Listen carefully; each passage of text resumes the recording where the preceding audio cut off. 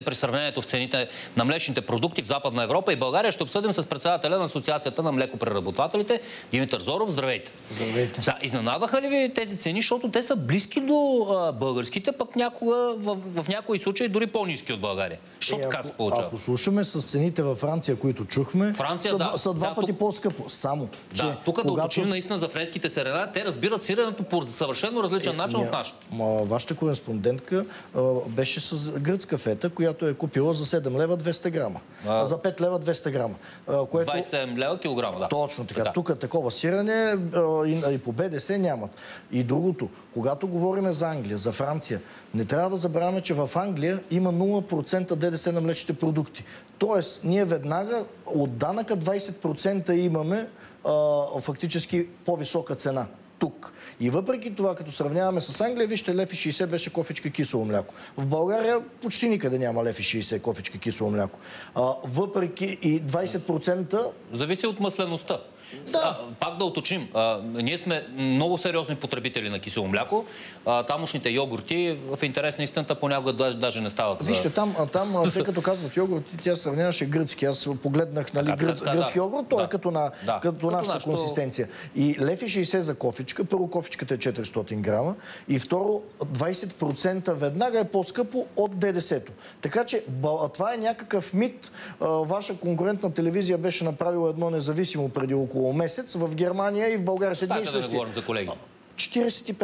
а, ко- а, Колкото беше там в евро, толкова беше в България в лева.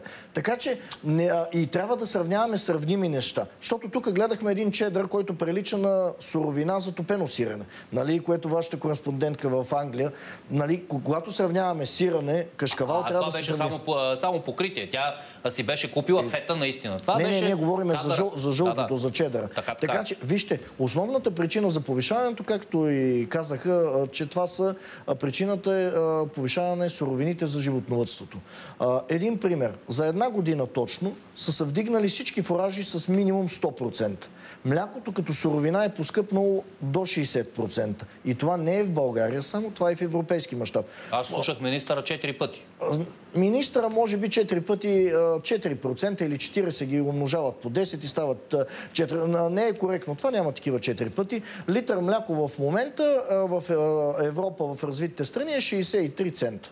Това се равнява на около 1,25. Толкова е качественото мляко и в България до 1,35. Не, къса, не говориме за Гърция, Малта, където е още по-висока цената. Но а, от тук с два пъти по-високи цени на фуражите, на горивата, животновътството изостава с 50%. И то е нерентабилно и затова намаляват животните. Само да а, един факт. А, от май месец до септември, последната статистика на Министерство на земеделието, са от 52 хиляди, а, сега са 52 хиляди тона мляко на месец преработени и добити, а са били 62. Или 16,5% за 5 месеца е намаляло българското производство. С този темп ние след 3 години няма да имаме мляко. Ще го купуваме с капкомера от аптеката. Това не е шега, защото този труд е неперспективен, ниско заплатен. А, всички казват, а, повишавайте заплатите. Значи, като се повишат заплатите на А този вие сте тежък освен труд... млекопреработвател и И, говедовът. и, и, го има и, и овцевът, и козевът. А, ние Тоест, също вие искам... сте в а, От всичките страни на... да Да. има. А, Да. За това мога да кажа, Тоест, че... ниско платени от вас зависи, нали? Ма, ма ние искаме да им ги дадем, но това натоварва още цените. От друга страна казват, не, не, не вдигайте цените, защото това са социални продукти. Е как може това да стане? Пресата мачка. И заради това хората се отказват. А, в... Обаче, се си мисля, само тук да. да наистина затворим тази скоба, се си мисля, че овчарите в България получават по-малко, отколкото овчарите в Великобритания, а цените са близки, нали така? А, а, а... Разходите, ко- с колко, вие казахте за, за Има една, фуражите? дре- има една дребна подробност, която е в цифри много голяма. Подпомагането. Субсидиите. Точно така. Как, И, а, какво е при вас, какво е в Великобритания и А, Франция? ами вижте, а, при, в, аз ще кажа за Гърция. В съседна Гърция дават от 200 до 250 евро на теле, не на говедо. В България дават нула. Нали? Виждате, при агнетата е същото положение. Дори Македония, която подбива българския пазар, дава по 50 лева на агне. 50 лева на 25 кг агне, това са 2 лева живо тегло. Една чувствителна разлика на подпомагането. И всичко това определя цената. Вижте, в, е, е, в един кос модел, в един ценови модел, трябва да се наслагат подпомаганията, пазарната фактически стойност на този продукт и да се види дали е с плюс и с минус. Ако е фактически с минус, той трябва да се доподпомага. Ако е... Или другото да се вдигат цените. И в момента това става. А, от тук нататък за млечните продукти. Защо се дигат млечните продукти? Като се е дигнал основната суровина в млечните продукти около 60% е суровото мляко. Когато то се е дигнало с между 50 и 60%, когато другите разходи, които са енергийните, мазути, газ, дизели за логистиката, са дигнали с минимум 100%. Минимум защото гъста се е дигнала с три пъти. Тока се е дигнал с 100%. Предната година беше... Ама така се дигат и там. А, вижте, ние не знаем там другото, подпомаганията какви са. Само, да, само за кашкавала, защото си говорихме предния да. път, ама а, от колко литра мляко? 10. А, е, от 10 е един... литра мляко, 1 кг кашкавал. Кашкавал. А с присирането беше 4 или 7. 7. 7. Овчето е 4,5. От овчето. От овчето е 4,5. Да. Значи това при, съм при 10 запомнил. При 10... Обаче, значи при 10 да. литра а, в мляко по 1,30 10 лева не, не. Кашкавал. това не е кашкавал. Това са някакви полуфабрикати. Сега, това, което... При нас колко струва кашкавал? Значи, вижте, вие може да го сметнете. А, сухото вещество в кашкавал в Германия, в Англия, в космоса, в България е едно и също. Нали, в млякото има едно и също сухо вещество. А, умножено, за да се получи това сухо вещество в кашкавала около 58-60%, има 10 литра. 10 литра по 1,30 прави 13 лева без ДДС. С ДДС-то прави още 3 лева, прави 16 лева. А къде са производствените разходи? В България нормалната производствена цена е 20 лева. О, с нулева печалба. Това. И в момента се продава по-ефтино от предприятията заради тежката конкуренция, защото потребителските възможности на хората намаляват и предприятията губят. Това е живата истина. Може да ви се струва а, нелогично, несериозно, но да, бранша... Да, да работите на загуба ми се струва наистина Бранша е пред катастрофа. Ако животновътството има поне някаква добавена стойност, няма да ликвидират животните.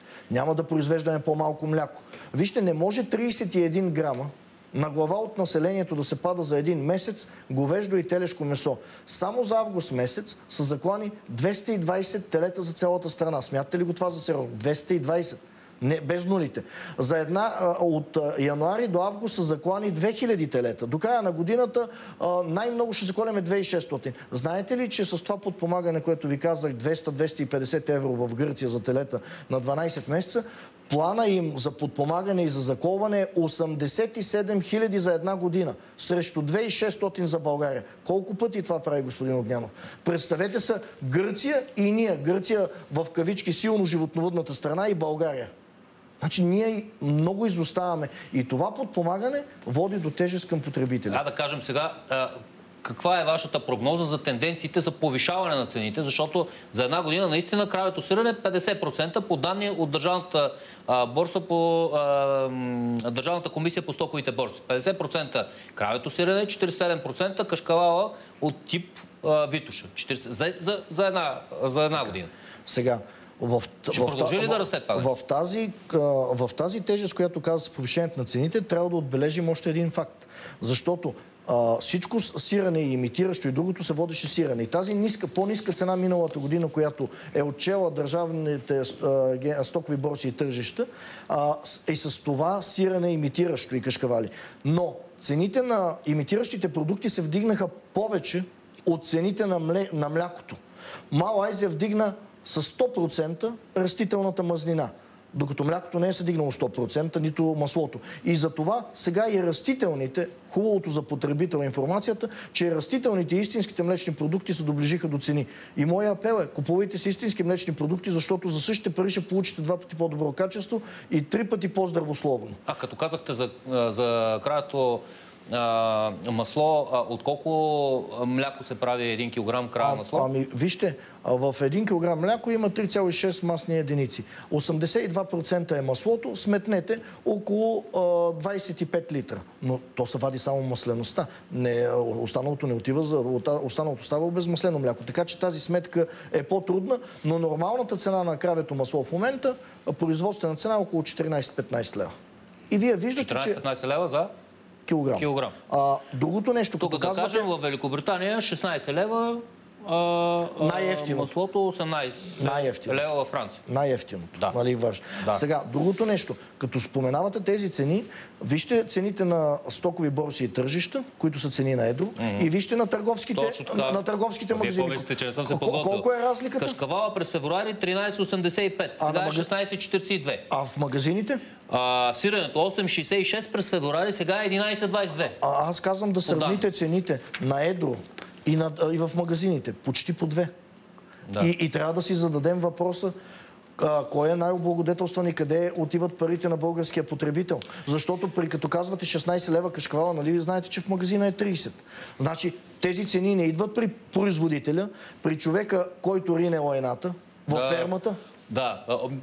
Спирайте се малко. Да, с някои думи. Не, вижте, Така, да, да, може да е нелицеприятно, но а, трябва да има достойното заплащане на всички тези хора, които понасят най-големата тежест. Защото Разбрах. докато стигне до магазина, първо се произвеждат фуражите на полето. Да. А, има климатични особености и незгоди. След това се, произ... се хранят живот, се произвежда мляко. След това предприятието го взема и го преработва и го закарва на место на търговеца. И какво става? Че колко... на колкото го закараш, почти по две се продава. И последен въпрос. Като човек от бранша, виждате ли а, по-често вече тези случаи маркетингови, маркетингови трикове а, да се намалява грамажа, цената се запазва същата, но грамажа се намалява с по 20, 30, 50 грама. За да изглежда цената хората- по-лицеприятна. И, и, и цената изглежда а, непроменена, обаче хората, които са свикнали да купуват а, еди какъв си продукт, не, не гледат всеки път а, етикета колко. А, Вижте. засилва ли се тази тенденция? В, и ще а, продължи ли да се за- засилва? В България основните продукти, както е киселото мляко, ние виждаме, че а, тенденцията на запазване на грамажа се, за, а, не, а, се е запазила, не се намалява грамажа. Напротив, доста кисели млека, в това число и моята компания е дигнала на половин килограм. А, това значи потребителя. Защо? Защото опаковките също много нараснаха като процент. И по-добре, а, разликата между 400 грама опаковка и 500 е примерно не е 25%, колкото е а, повечето съдържанието, а около 10%. Но това трябва потребителя да го оцени, защото той, като види кофичка, така, като казвате 400 грама и 500, казва, а тази е с 10 стинки по-ефтина, 400, а другата а, фактически има а, 40 стотинки повече продукт в нея. Да. И именно това призоваваме потребителя, както казвате, да гледа етикета и да купува български продукти, за да останеме все пак, за да имат след една година какво да консумират. Защото видяхме в пандемията, че когато видяха назор страните, наистина, да. ограничиха своите, капсулираха в своите държави износите и трябва да гарантираме хранителната сигурност. Добре, благодаря. Това беше Димитър Зоров, председател на Асоциацията на млекопреработвателите. След малко тук влиза Румен Гечев от БСП.